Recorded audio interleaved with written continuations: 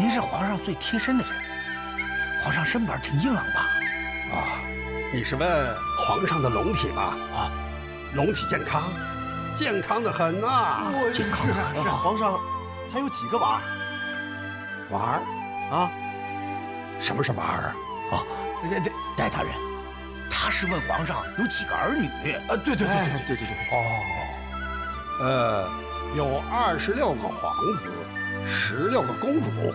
一共啊四十二个儿女。啊，四十二个呢？那皇上要多忙啊！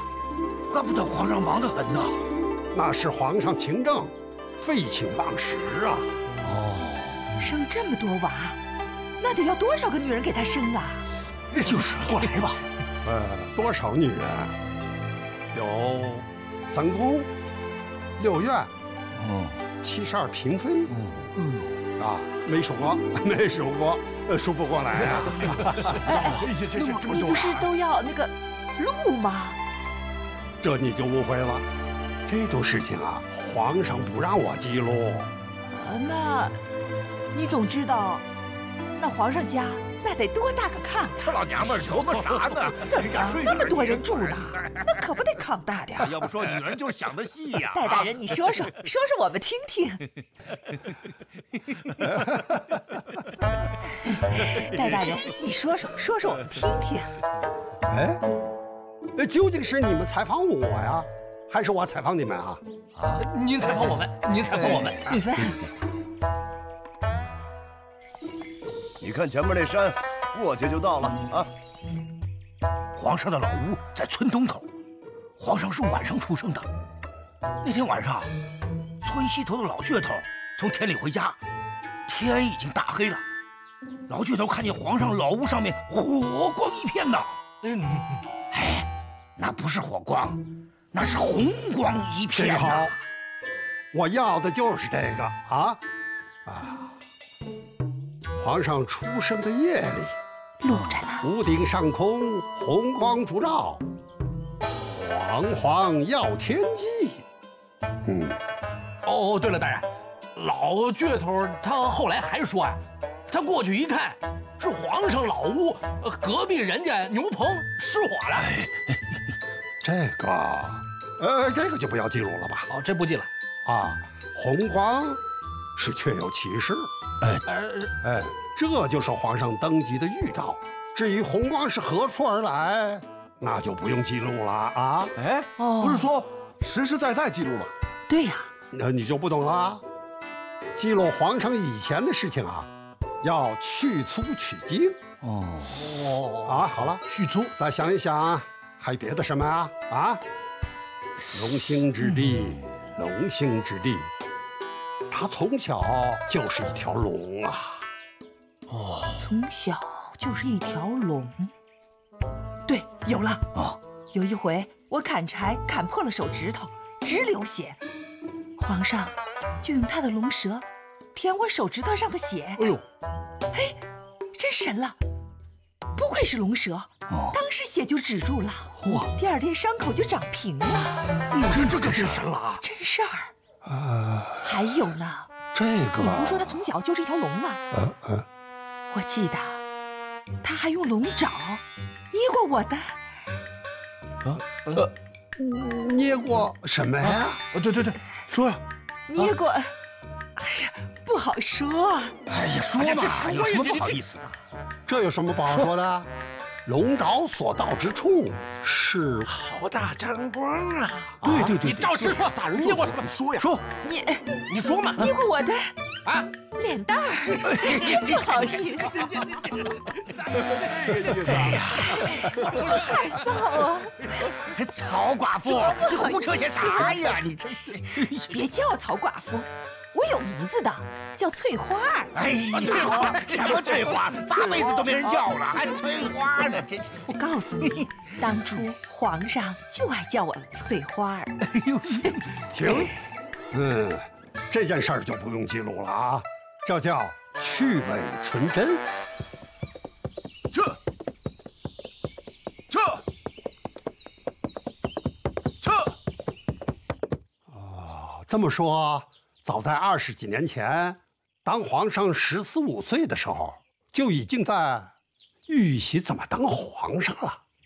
啊，是啊，戴大人，那皇上小的时候啊，常常朝土堆上一坐，整一些棕树叶，呃，扎在嘴上当做胡须，再弄块车副板顶在头上，算是太平官。他说他是皇上，我们都是他的文武大臣，让我们齐齐的跪在他的面前，还行跪九叩头呢，同声高喊万岁万岁万万岁。对呀，好啊，龙兴之地，真是龙兴之地呀！自古圣贤出，那是必有先兆啊，说明当年皇上对如何当皇帝。那是无师自通啊，无师自通啊！啊，是是是，啊，好啊，老夫此番来到黄庄，那真是收获颇丰啊！哎，你们再想想，还有什么事迹可以提供的呢？什么呀？你还记得吗？哎，比如说，啊，皇上小的时候就有取代元朝的雄心大志，那元朝的旧官，他能坐视不管吗？嗯，大人，有一件事，不知道您该不该记录？嗯，讲。有一回啊，地主刘德家丢了一头小牛犊，还告了官。哎呀，你扯这事干啥呀？说他干什么呀？别别别，说，让他说下去。那丢牛的事儿，跟皇上有关系吗？有关呢。当时皇上。就给刘德家放牛，这刘德啊，还硬说咱们八个孩子把牛抓走了，杀了吃肉，为此县衙行司，还录了口供呢。哎，这可是大事啊！啊，这是迫害。可那牛犊，呃，是是被咱们烤了吃了。你胡说什么呀？没人真是。哎，你们再想想，那牛犊，他到底弄到哪儿去了？那。你说呀，那牛犊去哪儿了呀？你快说呀！这你就不该说。那你们说，究竟是该吃，还是不该吃？哎呀，这还用说吗？他不该吃啊，就是吃了也得说没吃啊！哎呀，撤，撤，撤！哎，赶快收拾笔墨纸砚，姿势体大，我一定要查个水落石出。哎，你们说当年是刑司派人给你们录口供吗？是啊，我们每个人都挨了十几棍子，一打棍子可疼了，我们就全招了。这丢牛的第二天，皇上啊就到了皇觉寺出家当和尚去了。嗯，那是佛祖显灵，避免天子遭受皮肉之苦啊。好。你们现在带我去找刘德，啊啊！戴大人，现在找不到刘德，他已经失踪好几天了。这他早不失踪，晚不失踪，怎么我来了他就失踪了呢？啊，戴大人，这事儿跟你没关系。皇上圣旨上提的那个人，皇上说再也不想看到的那个人，他就是刘德。哦，哎呀，他听说皇上要来，吓得不知道躲哪去了。皇上。不光是为这事儿，皇上的父亲死了，没有地方安葬，他刘德不但不肯借地，还把皇上赶跑了。您说这皇上能不恨他吗？是啊，皇上在庄上没仇人，要说有，就刘德一个。是啊，是啊，是。那皇上圣旨上也没有说杀刘德呀。哎，皇上没有明说，咱揣摩皇上的意思，就是要他死，有道理。不想再看见他，就是要他。自个儿消失，对，说的没错。庄上的好多人啊，都轮流拿着斧头到他家门口晃悠，他都快吓死了。没错，可不是嘛。你们可真会揣摩圣意啊。哎，不行，咱们得回县城，把当年行司问案的笔录找出来。我要替皇上平反。贝娇，回县城。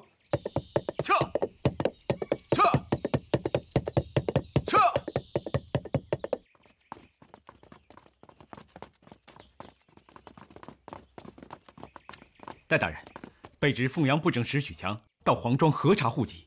啊，我回县城有急事儿，你就忙你的吧。啊，好，好。那位是黄庄里正汪文。啊，在下便是汪文。我这有两年前送到黄色库的户册和今年发地发银的户册，请您代我一家家的核查。啊，请请。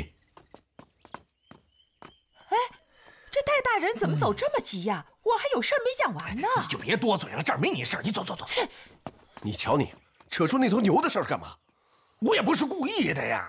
哎，你们两个真是的。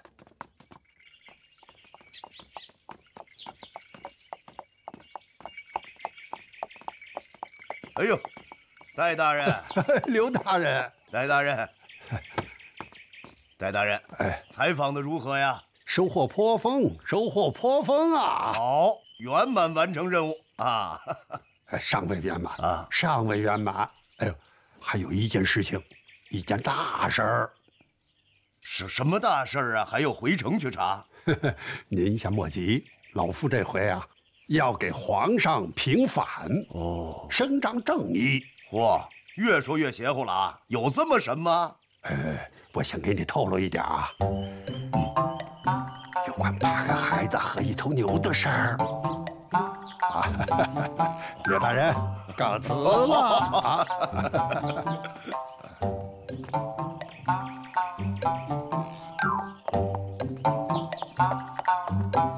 起轿。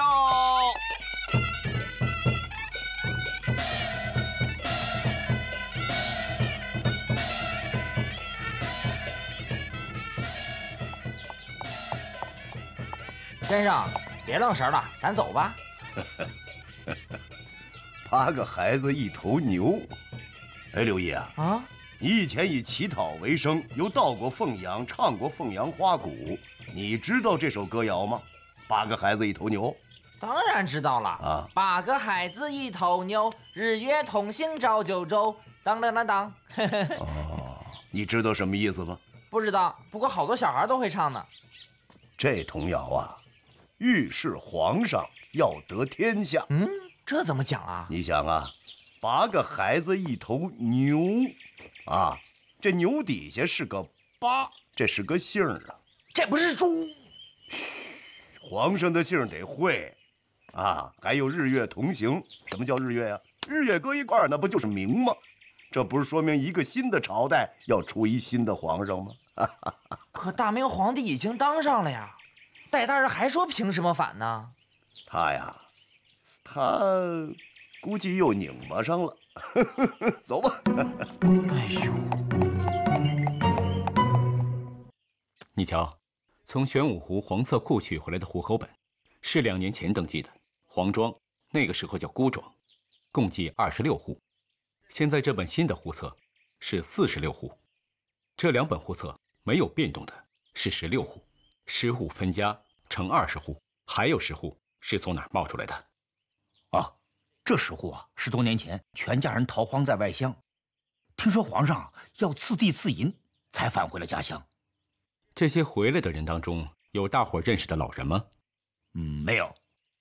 老一辈啊，都在几十年逃荒路上死了。回来的都是儿孙辈，反正能报上祖上的姓字。哦，你没查问他们在外乡的住所？啊，有的已经在外乡定居了，听到信儿才迁回的；有些说在外乞讨为生，居无定所呀。你没问那些回迁的原来在哪县哪村儿？两年前全国登记户口，在那儿有没有户口本？那个没有，县上派车。把他们拉到庄里，根据他们所说祖上的名字，把他们带到十几年前没有人住的破房子里，还没进门就趴在门槛上痛哭流涕。你说，你怎么忍心盘问呢？这样，这十六户没有变动的不用查了。嗯，其他十户分成二十户的，十户回迁的，你带我一户一户的去核查清楚。老板，您饶了我吧，我不是故意的，真倒霉！看见了你说怎么就那么巧呢？他买了米，扭头就走，没看见脚底下就给踩死了。要说呀，也不能赖老人家，这鸡待的也不是地方。是，那你说该待在哪儿？这儿有你什么事儿啊？该干嘛干嘛。放了人家吧，买点粮食不容易，你就算做点善事。哎，这善事你怎么不做啊？你们拿出银子来，帮他赔我这鸡不就完了吗？老板，行行好吧，我们全家老小都指着这口米吃饭呢。哎呀，少废话，少废话，拿钱来！哎呀，老板，我现在没钱啊，你如果我宽限我再给您筹钱好不好？这米我真是救命的米啊！老板，求求你放过我吧！行行行行，老板，你这起来吧，你给我倒回去，你得赔啊，不赔你走不了的。老板，我真不是故意的，老板。老板，我求求你了，我我你说什么屁话？老板，行行好啊，老板，这米还给我吧。怎么了这是？你没钱别想走。可怜呐，刚从这米店老板那买来这点米，拿钱，一会儿的功夫就把人家鸡给踩死了。要我说呀，就是一只小鸡，也是他倒霉啊。人要倒霉啊，喝凉水都塞牙呢。我这芦花鸡鼎鼎有名，能长到八斤，一斤五十文，刚好四百文。你还欠我二百文。写一个字据，明天一早你给我乖乖送过来。老板，我也是不小心，我不是不想赔，我实在是现在赔不出来呀。要不这样，你先把二斗米给我装上，回头等秋后我打了粮食，我再把四百文钱给您送过来。这这不行，呃，四百文钱，明天一早你给我付清，一个子也不能少。老板，我踩死的那只鸡才一斤呢。什么？可是你踩死人家鸡也不能不赔呀。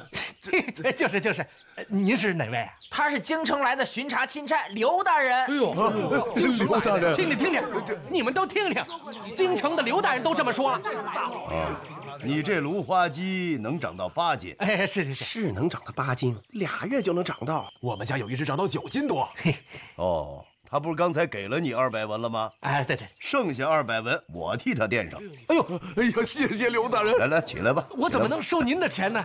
不是，你不是说一文都不能少吗？来，刘毅给他。哎呀，啊，谢谢谢谢。哎哎，等会儿等会儿，别走啊，账还没算完呢。哎，还有账，不是你的账，是他的账。呃呃，我我的账。我问你啊。你这只鸡要他赔，让他算了八斤重的鸡钱，也就是说呢，相当于他花四百文，五十文钱一斤，买了你一只八斤重的鸡，对不对？呃，也可以这么说。可是你这只鸡呢，才一斤，啊，它得长到八斤才能卖这么一件。就是。可是它要长呢，它就得吃米。没错，对，没错，对啊，是是。有这么句老话呀，叫金鸡斗米。什么意思呢？说这鸡啊，长一斤肉要吃一斗米，大伙儿听说过吧？听说过。你看，金鸡斗米，金鸡斗米，老话就是这么说的。金鸡斗米，养鸡的都知道。哎，对对对，我呀，来句公道话，你这鸡算一斤，是吧？你让它赔八斤，这中间还差七斤。这鸡长到七斤呢，它得吃七斗米，你给它称七斗米，让它背走。你们俩两清，不是啊？这这这这不不不不不对呀！怎么不对呀？他就是没踩死我那鸡，呃，这四百文也只能换四斗米啊！你看，这不是按你的算法吗？对不对？这这这大伙觉得公平吧？啊，公平！刘大人说法合理，两边都合理。对对对，真合理。谢谢刘大人，谢谢刘大人。称米吧，称吧，称米吧，快称米吧！哎呀，还是刘大人了不起啊！哎呀，刘大人。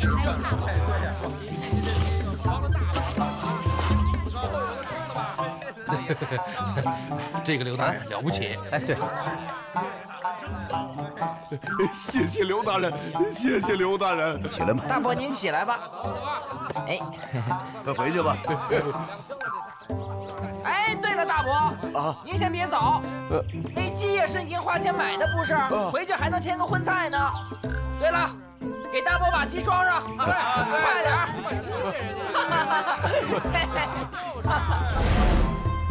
先生，这账册您在县城里没看够，到这儿还看呀？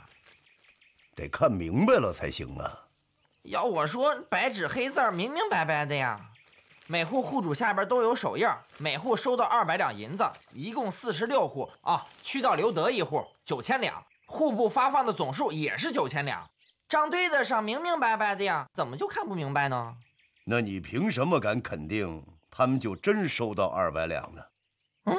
那曹四为什么喝了酒之后说他只收到一百两呢？常言道，酒后吐真言，谁听说过酒后说瞎话的呀？老来的古话，他不是谁都编得出来的。这么着吧，快到晌午了，村上啊，一会儿肯定设宴招待咱们，你去设法把曹四引出来，让他接着喝酒。对，再让他吐一回真言。嗯，让他这回全吐明白了。嗯，这事儿你去办，我不能出面，他们对我有警惕啊。对了，告诉汪文，找几户分了户的户主，他这个事儿出问题，一定出在分户上。告诉汪文，让曹四自己来，别带着他媳妇儿啊。好，我明白了。嗯，去吧。嗯。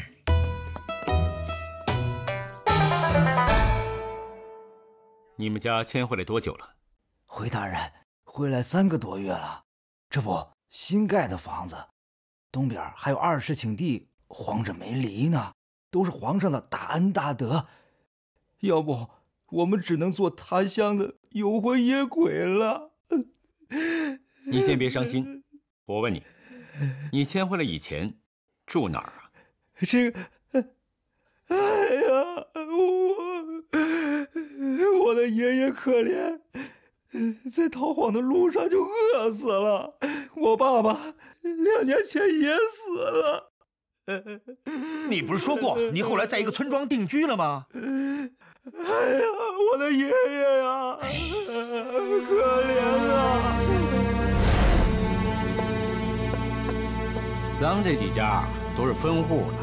哎，这是我弟曹石，咱们一户变成两户了。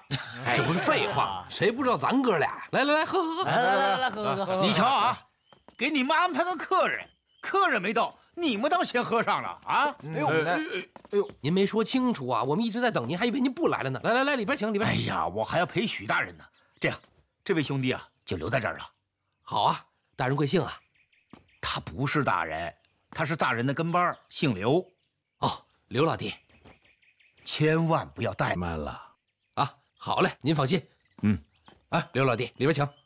多谢。来来来，请请请。来来来来，坐坐。哎，来来，我给你满上。多谢多谢多谢多谢。小兄弟啊，我怎么看你面熟呢？你是不是去过我们家酒馆喝过酒啊？是吗？不知道。县城这么多酒馆，咱哪家没去过呀？这遇到豪爽的了是吧？呃，喝，来来来来来来。我跟你们说呀，我都好几天没喝酒了，是吗？在家喝酒一个人没意思。说的好听，你那是怕老婆呗？哎，别瞎说啊！别怕老婆，是他怕我，怕我。你不敢喝就不该这样，还说他怕你，就是。他真是怕我，他怕我。酒后，酒后什么来着？酒后说瞎话。呃，这位小兄弟啊，长这么大，只听过酒后吐真言，没听说过什么酒后说瞎话的，没这么一说。不管这个啊，再来一个，再来一个，再来一个，再来一个，干了，干了，干了，干了。实在，实在，来来，实在，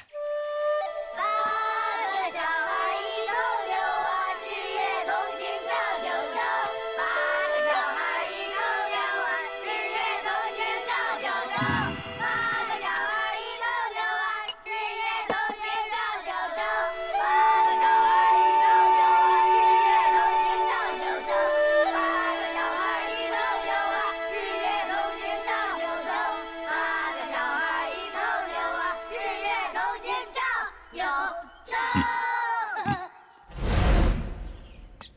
哎呦，敢问老伯啊，刘德家住哪儿？您知道吗？你你是哦，我呀，我我从京城来，是给皇上当差的。哎，你是替皇上来报仇的吧？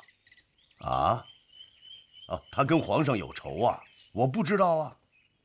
这俺们心里都明白，圣旨上都说了，你不知道啊？要不皇上派你找到这儿来，我指给你瞧啊。你看啊，拐弯那个就是他家啊。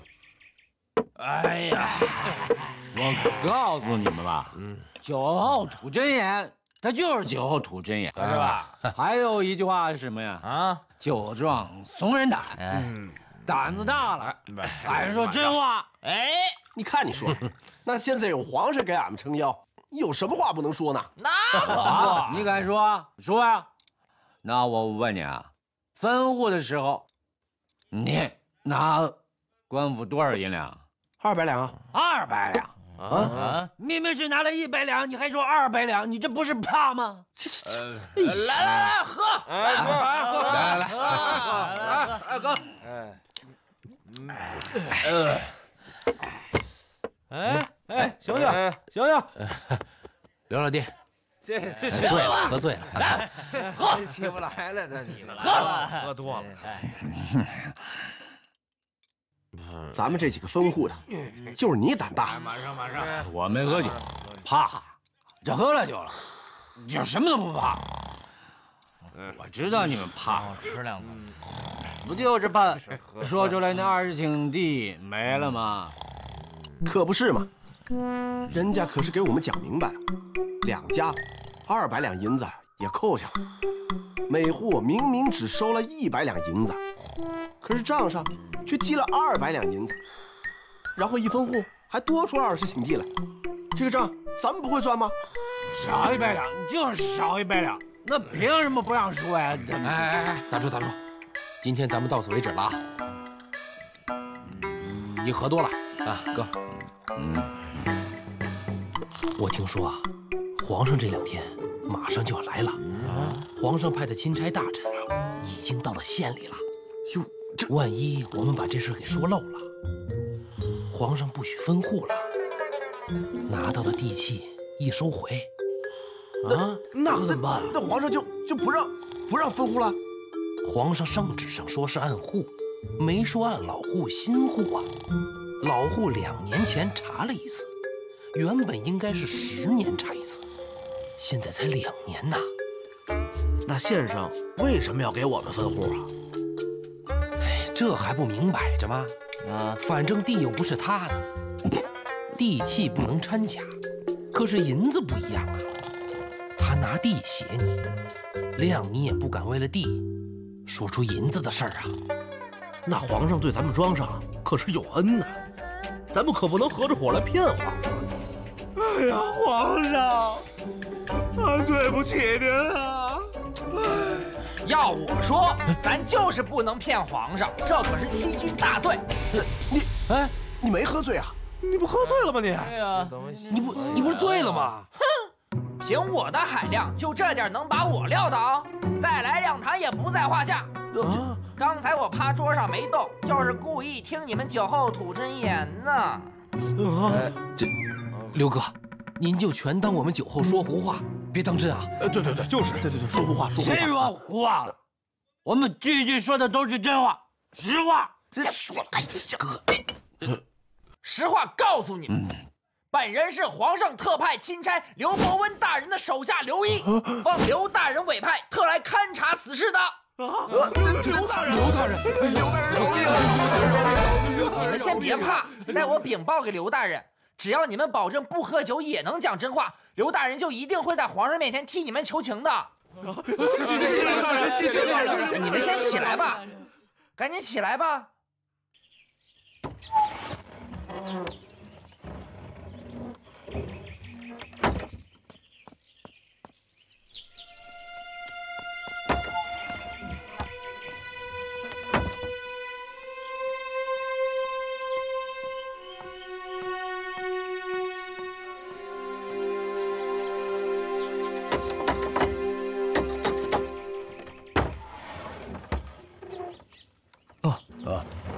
请问您是？请问这是刘德的家吗？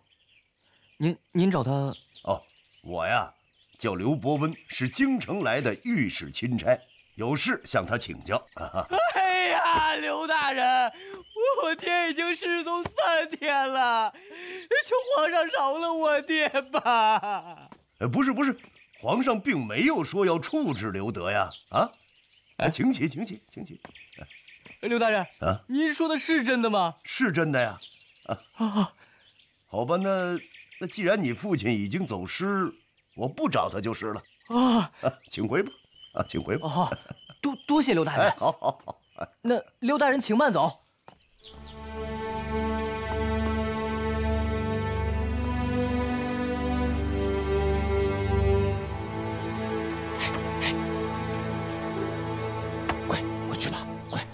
快回去吧。快去吧啊！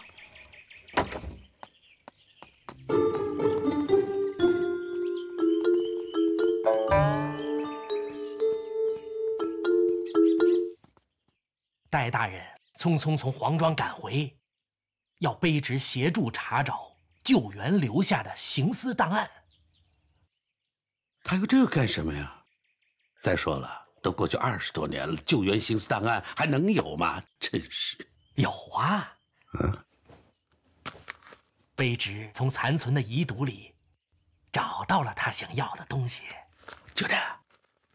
可是卑职不敢给他呀。为什么呀？这份口供里啊，供出了八个孩子，呃，由皇上领头，啊，把刘德家的牛偷偷的给烤着吃了。你是说皇上？刚才我没看吧？大人是没看这东西，啊，可是这东西卑职看了。那皇上小时候，他他他他把那牛，啊，别说了。怎么了？还怎么了？啊！你身为县令，难道不知道吗？大明律有明文规定，凡是一涉及到有损皇家声誉的记录，一律立刻封存，而且写上四个大字：严防扩散。凡是事先看了的，就犯了挖眼之罪呀！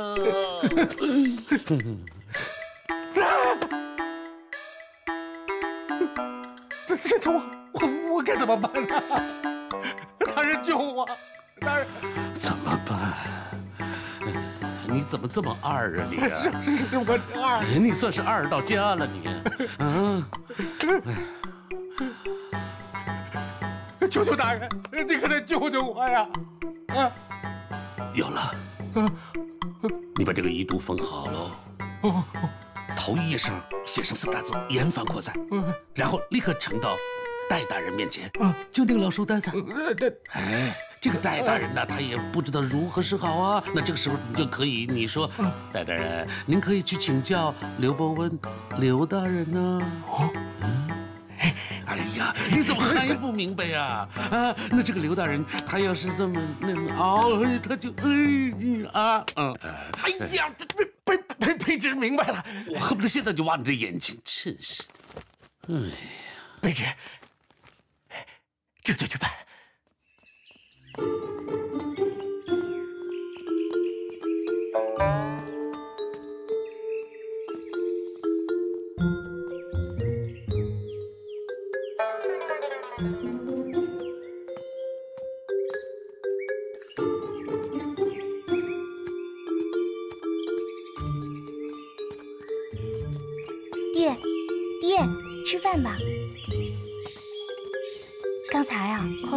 钦差来咱们家找你了。啥？看样子是要抓你姥姥。啊！你就是刘德吧？啊，就是他。哎，爹！哎，戴大人，您要卑职给您找的东西，卑职给您找来了。哎呀，哎呀，太好了！太好了！哎呀，哎，这是谁写的？哦，这是卑职写的。凡是涉及皇家的材料啊，务必要写上严防扩散。哦，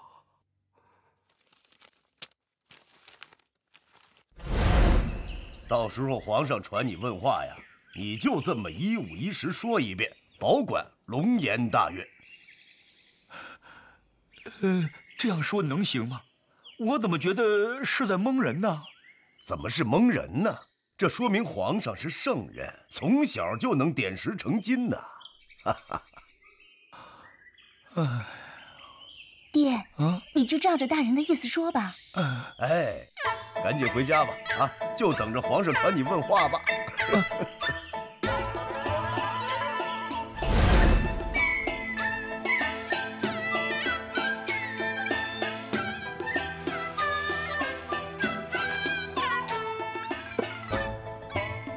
对呀。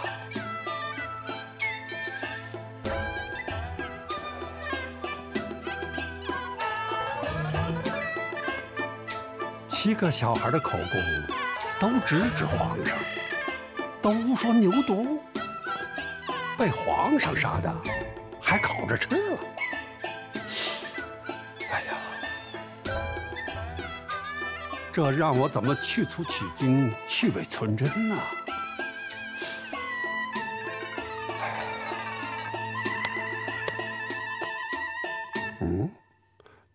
这刘大人就住在隔壁，不是让我有什么难题去请教他吗？好，就这么办。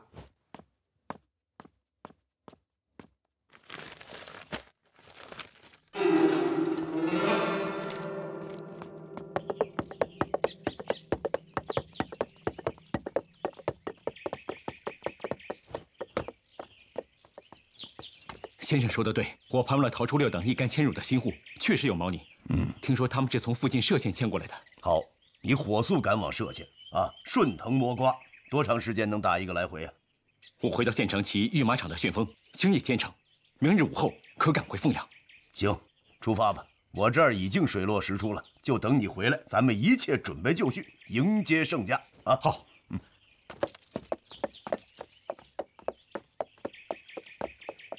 嗯。刘毅啊，明天一早让他用马车把曹四、曹石一应人等送到县城，听我安排。还有啊，把刘德一并捎来啊。是，爹，您的账册也看明白了？明明白白。赶紧让我也明白明白。不行，非得等皇上驾到方能摊牌。走上汪文家取驴回县城。嗯。哎，大人请。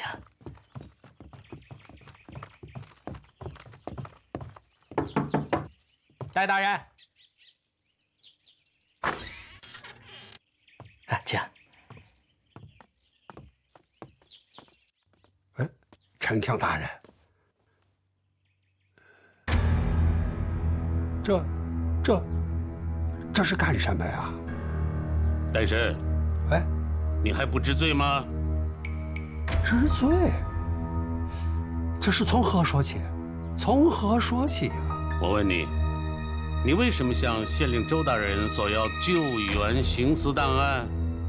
哦，启禀丞相大人，老夫到黄庄去考察，发现一条重要线索，老夫感到此事关系重大，定是那救援他迫害皇上，为皇上平反，那是老臣的神圣职责啊！为了慎重起见，老夫就匆匆赶回，向周大人。索要旧案遗读啊！这么说你都看过了？看，看过了，看过了，仔细的看过了。要是不看，怎么能知道真假、去伪存真呢？那你判断清楚了吗？哎，他就是一时难以判断呢，所以我才把材料放到刘大人的桌子上了。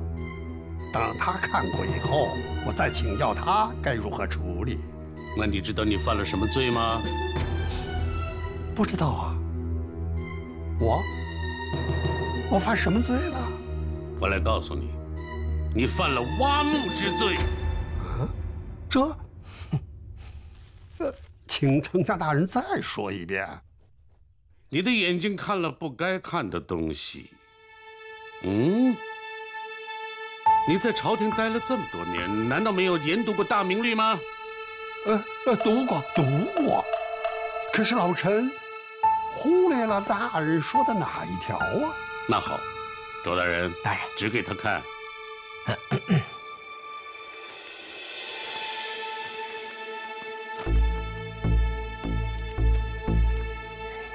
戴大人。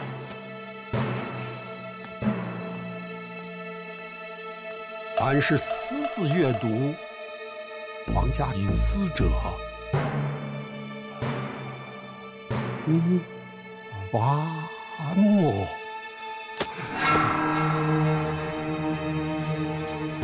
你不仅自己看了，啊，你还要把它拿给刘大人看。你难道要连累刘大人与你连坐吗？不行，我得把文件取回来，我不能害了刘大人呐！站住！从现在起，依大明律令，你不得离开这个房间半步，你被隔离了。丞相大人，我失去自由了。你不仅失去自由了，你将会被挖去双目，失去光明。就等着皇上亲自发落吧。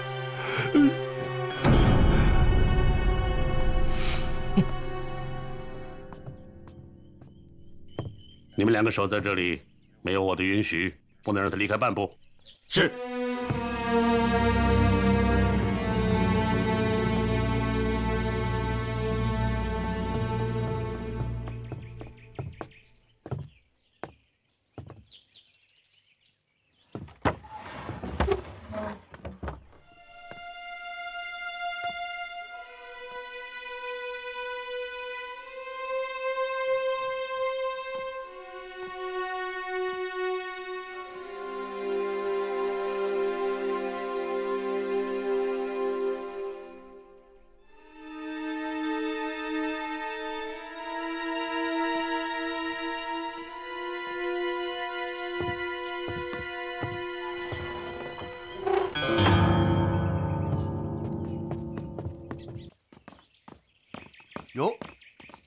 大人，刘大人，行啊你，骑这个驴到处逛，倒显得悠闲自在啊。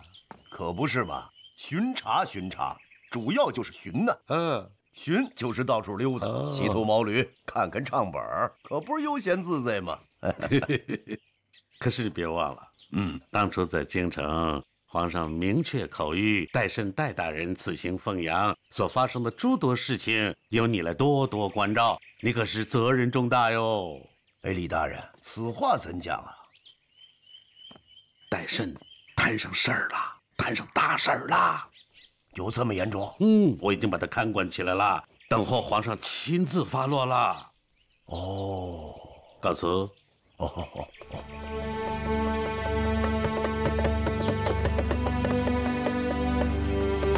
李大人、刘大人，皇上銮驾后天午时到达凤阳，请大人准备接驾。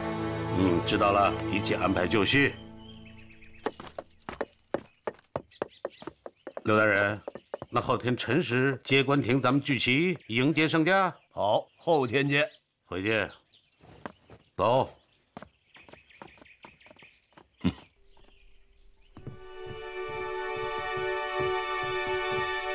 翟大人，翟大人。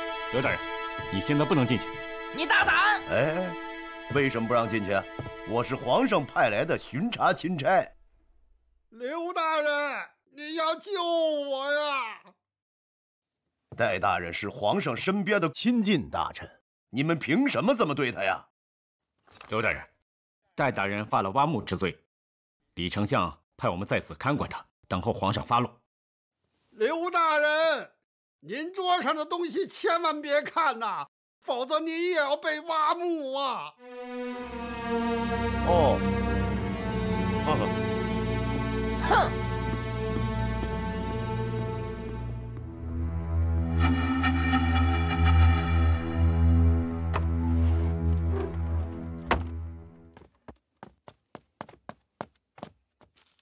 先生，这到底怎么回事啊？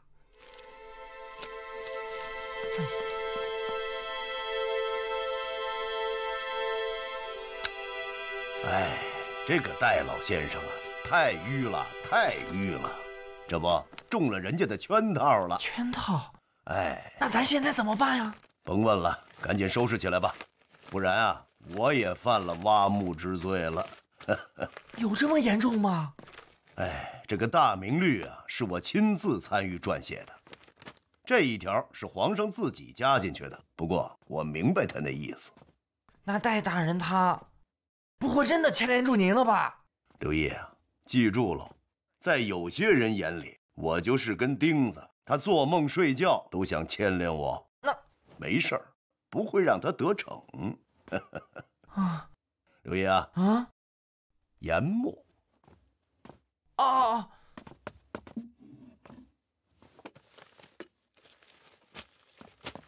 先生。嗯写点什么呢？就写啊，二十多年前，黄庄，哎，那会儿叫孤庄啊，黄庄地主刘德丢了一头小牛犊，哎，就这么来。这是当今皇上少年时代的一个神话故事，这样的故事流传很久。刘烨啊，嗯，寻个机会，把这个交给戴大人的小厮，啊，让他呢转交给戴大人，让戴大人照抄一遍，待到皇上向他问罪的时候，照着这个讲一遍，就说这就是去伪存真之后记录下来的那故事。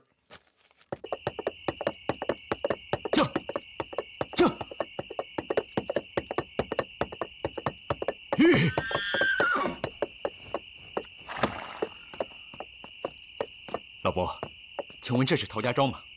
是啊，您是？啊，我是凤阳布政使许强。哦，许大人，我有要事在身，请您带我去李正家。好，请。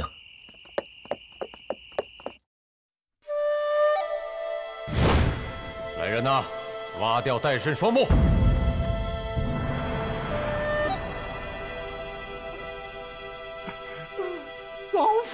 天啊！到了明天，我我就成了个盲人了。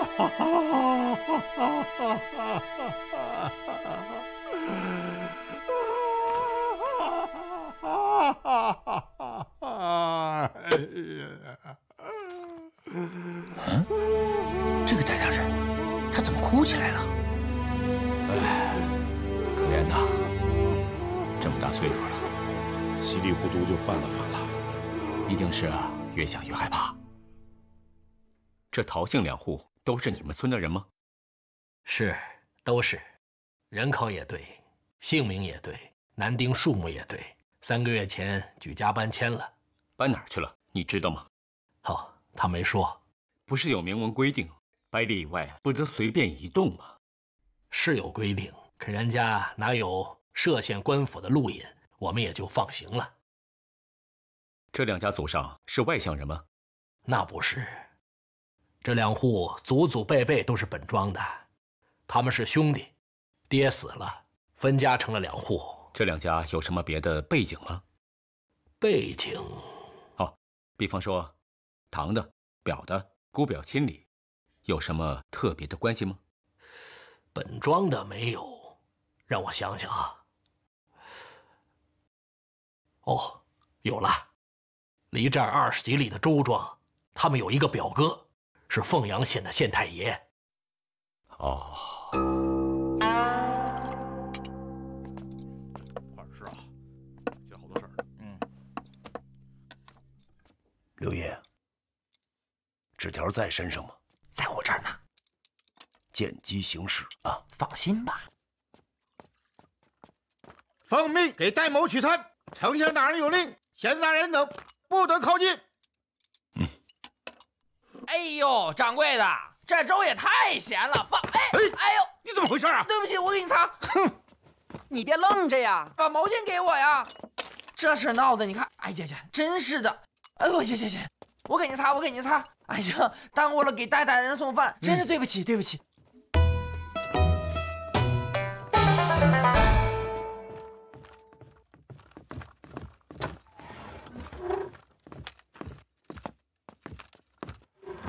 大人，您吃点饭吧。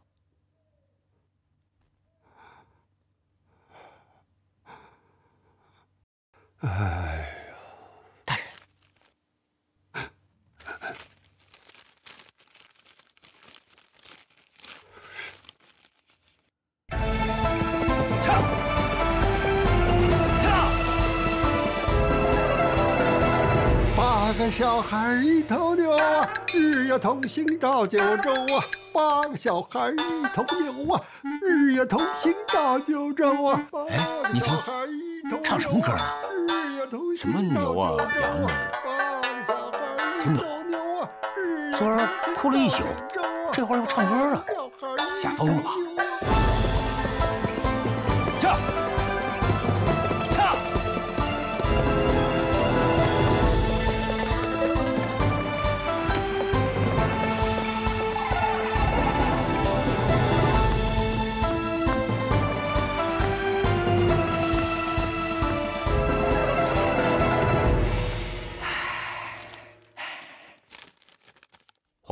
确有陶姓庄户，二十几年前陶荒外出未归，这两户原就是陶姓，所以姓名不改便可到此立户。经查证，陶初六两户均是周业成表亲。嗯，假贸易成立，四十顷地四百两银子就到手了。嗯，你火速赶往黄庄，以陶姓两家为突破口，将返乡回迁的十户一一查审清楚。我现在就去。再有，皇上明日午后驾到，时间紧迫，待你查清楚之后，将这些冒领钱款跟土地的户主和那些分户户主一并带到凤阳。嗯。再有啊，这是皇上所赐牙牌，剑牌如建军，名臣出庄，任何人不得阻拦。好。迎接圣驾是当前的重中之重。一切的一切都为博得龙颜喜悦，任何事、任何人都不得干扰接驾事宜。丞相大人，卑职担心，刘大人他横生枝节，布政使许强又奉刘大人之命去黄庄了。他去黄庄了？是。那这样，你立刻到都督府去一趟，就说是我的命令。让他派二百骑卫协助维持接驾有关的事宜啊！另外再派十名骑卫赶到黄庄，封住出庄的路口，在圣驾到来之前迎接圣驾，绝不能有一人一骑离开黄庄。哎，是，万万不可疏忽。嗯，不能办砸了啊！卑职明白。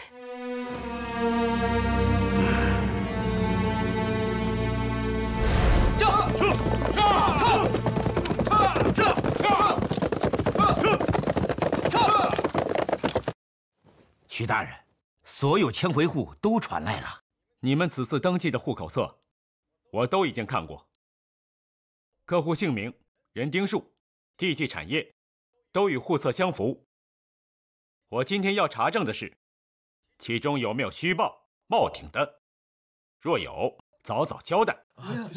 徐大人，徐大人，我是照实申报，是照实申报的，绝无虚报。我先点名两户，我均已查实。逃出六，啊！逃出八，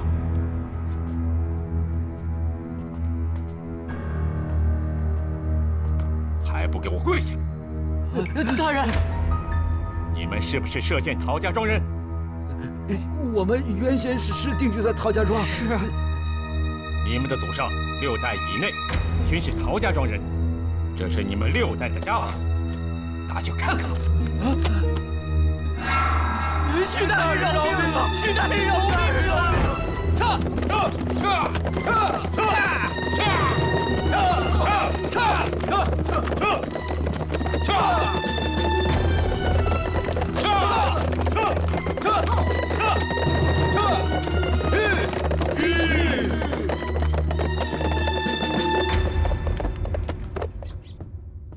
八个小孩一头牛啊！日月同行绕九州啊，八个小孩一头牛啊，日月同行绕九州。明日皇上的銮驾午时就到了。一头牛啊，日月同行绕九州啊，八个小孩。戴大人，别唱了，咱留着嗓子，明天唱给皇上听吧。啊，八个小孩。刘大人，戴大人都已经吓疯了，您还让他接驾到皇上面前发疯去？是吗？指不定谁吓疯了呢。八个小孩一头牛，日月同行照九州。八个小孩一头牛，这疯病会传染。八个小孩同行照九州。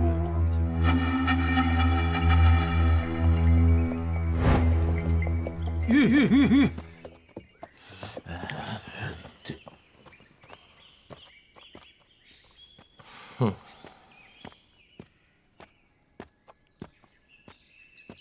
李大人来得早啊！那是迎接圣驾，岂敢怠慢？哪像你呀，竟然姗姗来迟。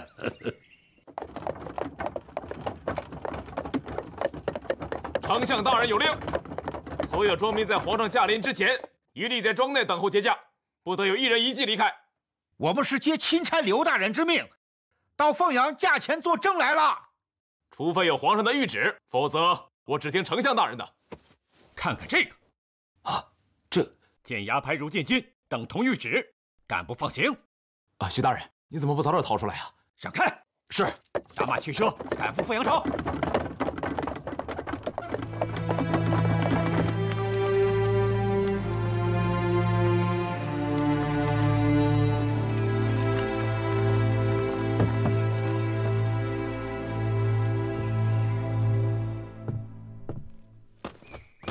臣等恭迎圣驾，吾皇万岁万岁万万岁！都平身吧。谢皇上。哎，李爱卿，臣在。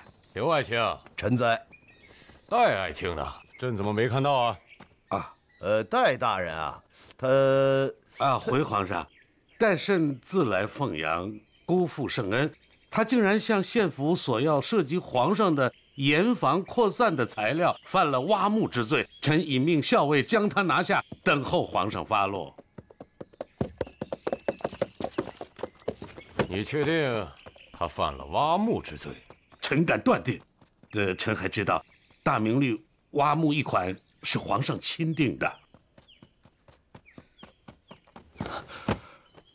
凤阳府布政使许强接驾来迟，恳请皇上恕罪。皇上，臣奉刘大人之命到黄庄核查户口，多有查获。嗯，立即起驾回行宫，朕要亲自问案。臣领旨。李爱卿，你跟朕说说，他戴慎究竟是如何犯了挖墓之罪啊？啊，皇上，此事还得问周知县。呃，周知县，你说。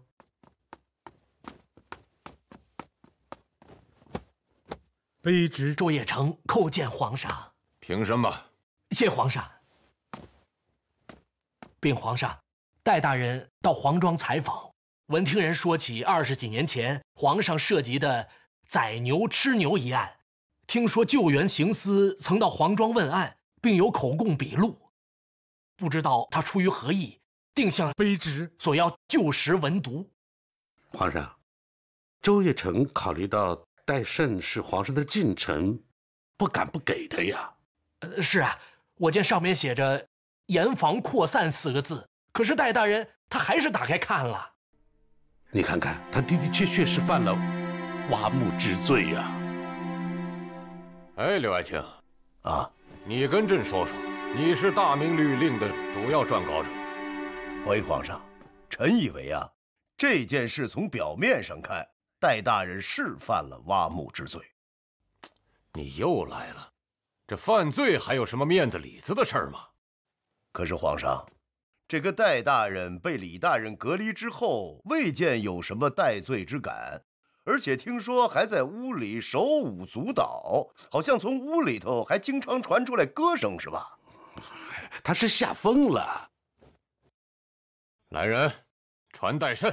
传代圣，传代圣。八个小孩一头牛啊，日月同行照九州啊。八个小孩一头牛，日月同行照九州啊，照九州。嗯，代神，哎，你真的被吓疯了？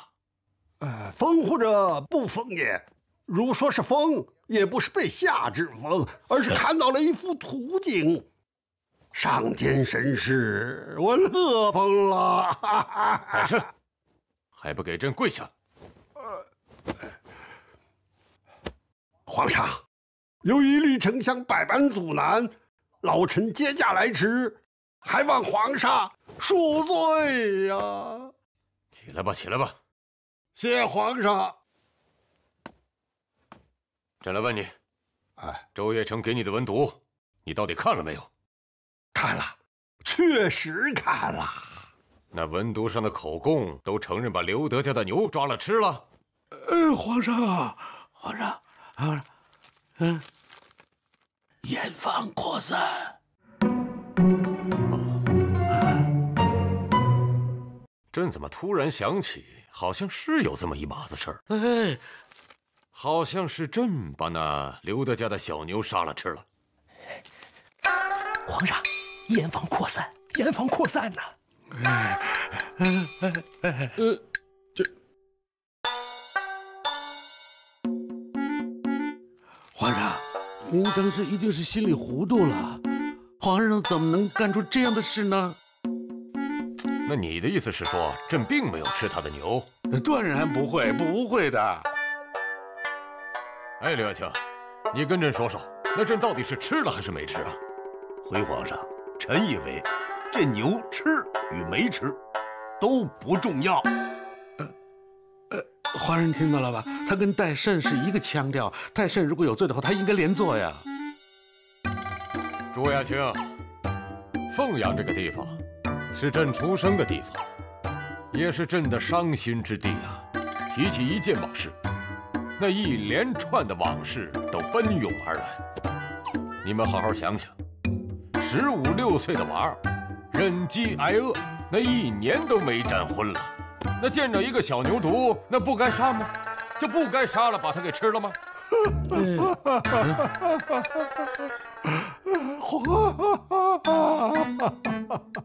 戴胜，你怎么一会儿笑一会儿哭啊？真疯了！啊，皇上，皇上，皇上刚才那一番话，皇上的痛苦经历让戴胜是百感交集，感同身受啊。不过那文牍上的口供是官家要将朕入罪。你看了，还是犯了挖母之罪啊！皇上，老臣对皇上是一片忠心，心明眼就亮。皇上如何忍心挖臣之墓啊？那人家写了，写了，严防扩散了。你还是看了不该看的东西，一律应该挖墓。皇上，老臣之所以说自己心明眼亮。是因为老臣看到的不是救援要将皇上入罪的文字，老臣看到的是一幅图画呀。口供还有图解。老臣坐在文牍前，就坐久看，忽的进入了禅定，眼前豁然开朗，八个小孩。围着一头牛，八个小孩围着一头牛，哎，那不还是想吃这牛肉啊？哎，您想啊，他为什么是八个呀？原本就是八个呀，朕还有村里的七个孩子，一起把这头牛给吃了啊。为什么不是七个，也不是九个呢？这就像我在禅定里顿悟的一样，耳边忽然飘过来一首童谣。八个小孩一头牛啊，日月同行照九州啊。八个小孩一头牛啊，日月同行照九州啊，照九州啊。这首童谣，朕好像有些耳熟啊。回皇上，那是早在皇上进攻亳州的时候，这首童谣就已经在江南广为流传了。童谣者，谣谶也，谣，谣远也。就好像是天籁之音，没有源头，也没有尽头，随风来去，无影无踪。这乃是上天的暗示，要改朝换代的征兆。皇上，八个小孩一头牛，这牛字下面一个八字，这不正是皇上您的姓氏吗？啊 朕明白了。哎，那牛下面一个八字，正好是猪啊。八个小孩一头牛，是说皇上您要坐江山了；日月同行照九州，是说我大明开国，统一九州了。老臣看到的图画是天是神是啊！皇上，这牛是吃了还是跑了？它还重要吗？确实不重要了啊！哎，这么说。这些东西你都记录下来了？当然记录下来了，皇上，您别忘了，老臣就是干这个的呀！啊，听戴大人这么一说，臣真是惭愧，臣也炖了，就没悟出这么多来。擅长，你是读书太少，没有灵气。啊，你的心思都在打横炮上。是 是是，臣惭愧，臣再也不打那横炮了。今后我们大家都不打横炮了，我们君臣同乐。慢，李大人，啊，您这哑炮打完了，我来一响的。刘爱卿，你是不是有什么要跟朕说呀？启禀皇上，嗯，臣有本参合凤阳知县周业成。我看看，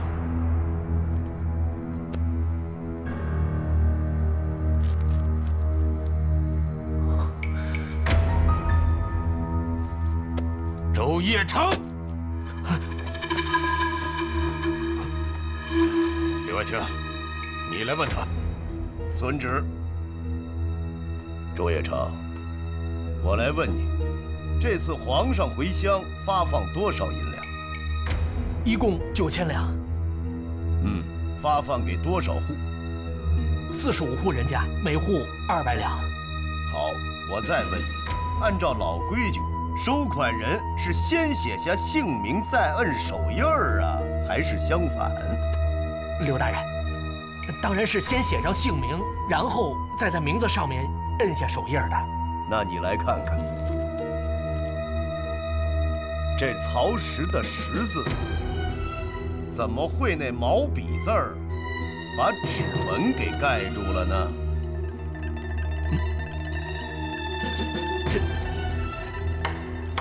给朕看看。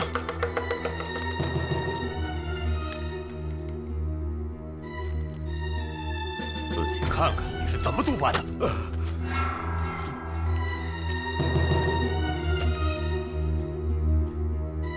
啊，回皇上，臣的确看过，但是臣疏忽了，臣臣有失察之罪。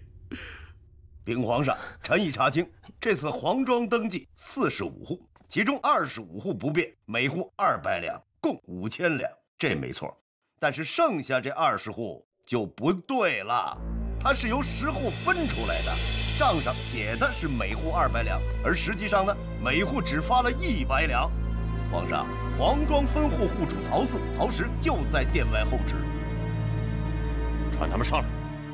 传曹四、曹石。传曹四、曹石觐见。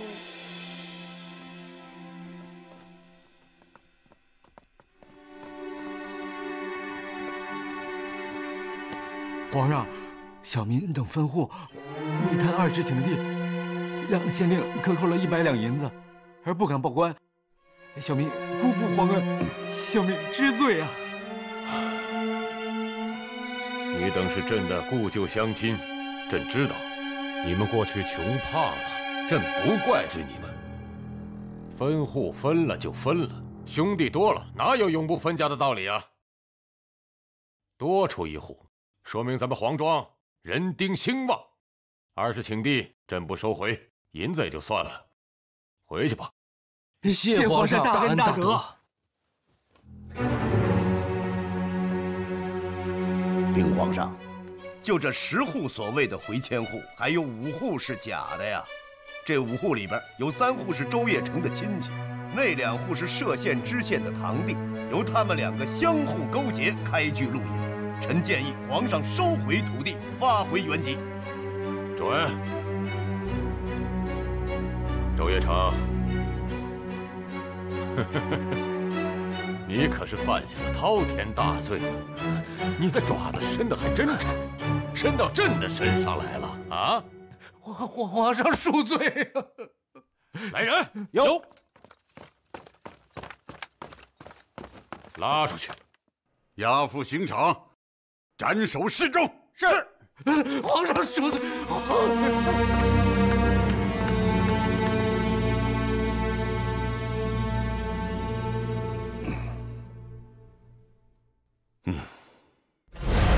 在哪儿呢？看见了，皇上！皇上，曹寡妇求见。曹寡妇？哪个曹寡妇？朕不认识啊。别叫我曹寡妇，皇上，我是翠花，刘家的翠花。翠花。正月里来，朕想起来了，朕小时候叫朱重八，他总是叫我八哥。让翠花进来见朕。宣翠花觐见。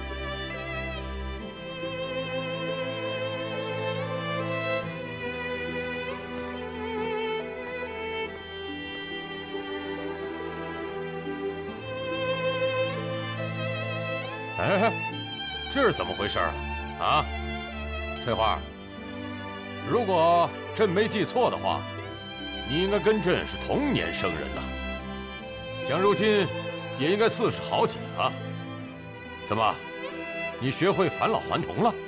啊？皇上，您现在见到的是我的女儿，我躲在她的身后。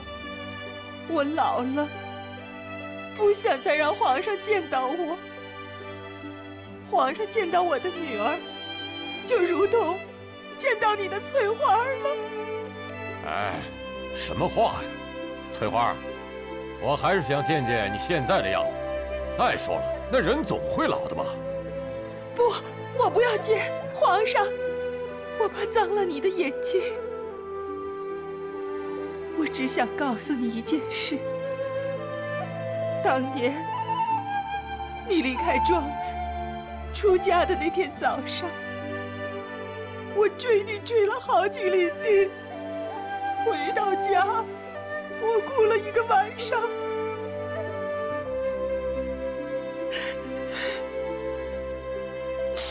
现在我只想再给你唱一首歌，是专门唱给俺的八哥的。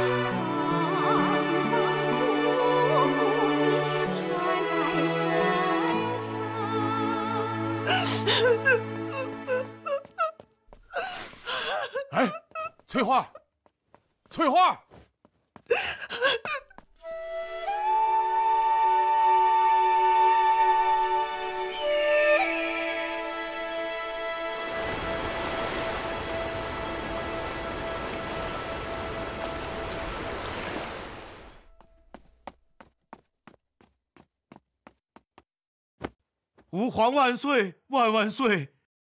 刘德。你还想着朕吃了你的牛犊的事儿吗？皇上，小民瞎了眼，才错怪皇上。怎么又变成错怪了呢？呃，那头牛跑了，我看到它跑了。跑了？皇上，你还知道庄子西边那个牛尾坡吗？牛尾坡？朕不知道，朕只知道村子西面有个西坡呀。皇上，你在的时候叫西坡。后来他们叫他牛尾坡。丢牛的第三天早晨，人们说你出家走了。我追到庄子西面，我远远的喊你的名字，大声问：“我的牛犊呢？”你回过头来，往庄子西面一指，我就看到那牛犊钻进山坡石头缝里。我紧紧的抓住牛的尾巴，牛整个身子都钻了进去，只有尾巴露在外面。后来。那条尾巴变成了长长的石头，再后来，大伙儿就把西坡叫牛尾坡了。刘德，你不是在跟朕讲神话吧？皇上就是神嘛！皇上用手一指，我就看到我那牛犊。要不是我亲眼所见，皇上就背上吃牛的黑锅了。刘德。庄里分地的时候，他们没分给你吧？皇上，草民还有很多对不住你的地方。行了，不说这些了。当年朕向你借地葬父，你没有借给朕，朕也不能怪你。因为你也想不到，朕能够当皇上啊。再说，那庄里的穷人这么多，你也不能都借。皇上，朕等会儿告诉汪文，二是请帝，有你的一份。谢皇上隆恩。皇。